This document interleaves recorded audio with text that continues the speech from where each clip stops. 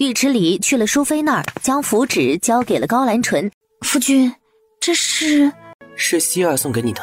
夫君看起来似乎很喜欢小公主了，连称呼都改变了。看来我要好好再准备一份礼物，等下次与小公主见面送给她。尉迟熙跑到梁妃娘娘的寝宫，阿姨，小八回来了吗？启禀小公主，八皇子殿下还未回来呢。梁妃娘娘去月华宫了，这样啊，那我也回去啦。冬儿等他走远了，这才转身进去，看向在房间里戳戳戳的尉迟风。八皇子殿下，您真的不见小公主吗？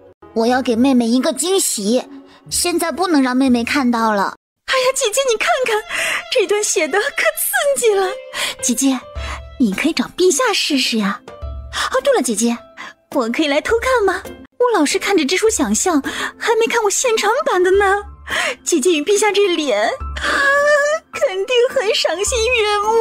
妹妹，我就算了，我折腾不了，要不你去和陛下试试啊？别别别别别，我这福气我可不敢要啊！好姐姐，你就试试嘛，真的写的很好看，姐姐脸红也好美啊。嗯嗯。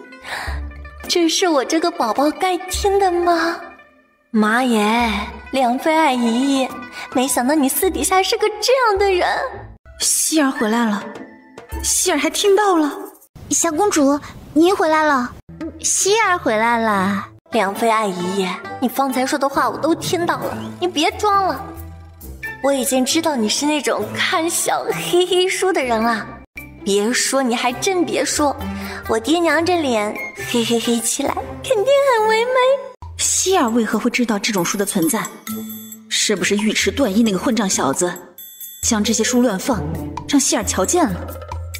好啊，等他回来，定要给他吃一顿鞭子。哟哟哟，这不是八皇子殿下吗？听说你上次随堂考又考了零分呀？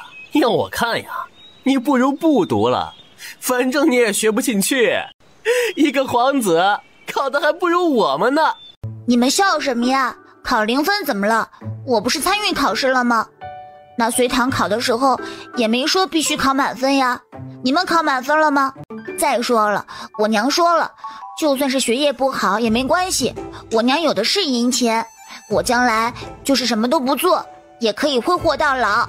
所以你们这般努力读书，是因为你们的娘没有银钱吗？你们好惨哦！不是，不应该是你惨吗？你堂堂一个皇子，竟还没有大臣之子考得好，你哪里来的脸